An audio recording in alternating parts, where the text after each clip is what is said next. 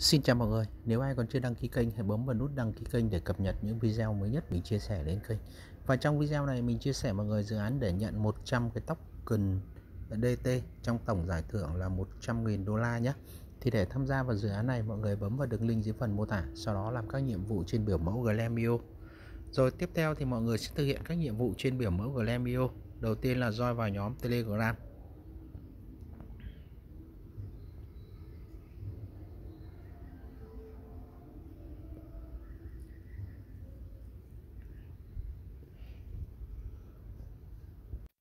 Rồi, mọi người sẽ chọn roi này và sau đó quay trở lại biểu mẫu.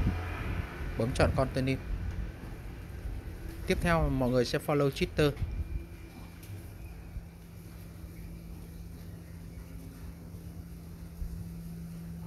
rồi, bấm chọn theo dõi này và quay trở lại. Chọn continue. Sau đó thì sẽ retweet lại bài đăng. Rồi, mọi người sẽ bấm chọn retweet cho mình sau đó thì chọn tweet lại và chọn like nhé, và quay trở lại.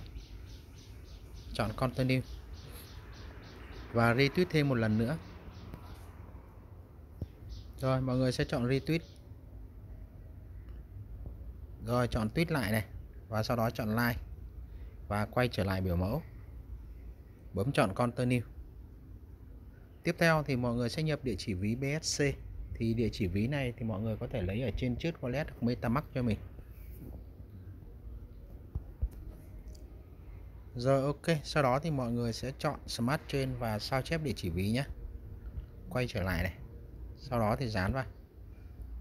Rồi, chọn continue. Nhiệm vụ tiếp theo thì mọi người sẽ kích vào cái nhiệm vụ cuối cùng này. Đây là cái nhiệm vụ hàng ngày nhé, để mọi người lấy thêm những cái điểm.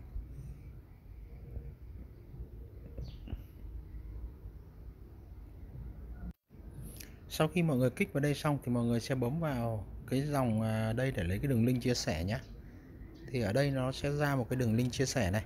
Rồi, ok mọi người, như vậy mình đang dẫn xong mọi người tham gia dự án. Hẹn gặp lại mọi người những video tiếp theo.